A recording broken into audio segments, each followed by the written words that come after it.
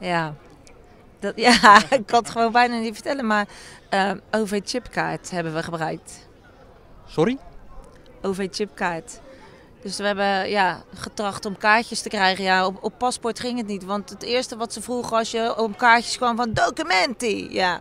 En op een gegeven moment zei Patrick, weet je, ik ga het met mijn OV-chipkaart eh, proberen. Want daar staat je foto op, eh, de geboortedatum staat erop.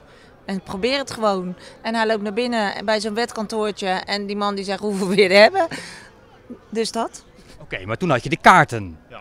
Maar, Patrick, dan kan je die kaarten wel hebben, maar dan moet je ook het stadion nog zien binnen te komen. Hoe hebben jullie dat gedaan? Nou, we hadden dus gezegd dat we uit België kwamen, want dan staat het natuurlijk niet op mijn chipkaart. En dan stond er dus Belgium op mijn kaart. Nou, en net vanmorgen of vanmiddag naar het stadion. En eh, die gozer kijkt op mijn kaart, Belgium. Oké, nou, kijk op mijn geboortedatum, mijn naam staat op de overchipkaart.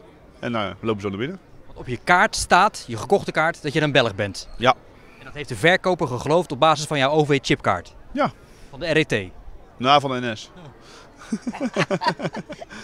Dus jullie hebben helemaal geen moeilijkheid gehad bij de poorten van het stadion. Ja, stress. Heel veel stress.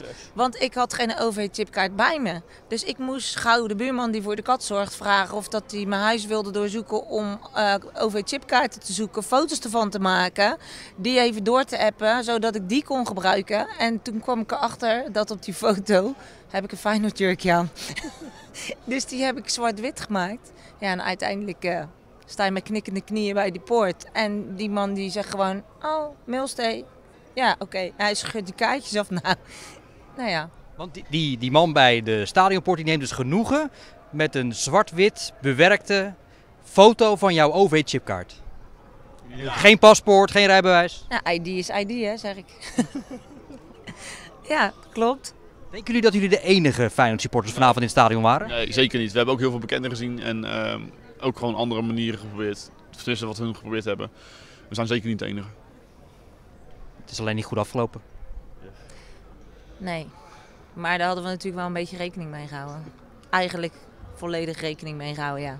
Viel nog maar eigenlijk achteraf.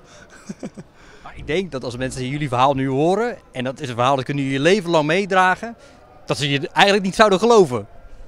Nou ja, het is wel waar, dus eh, ik kan er weinig van maken. Ja, daar hebben we bewijs van, ja.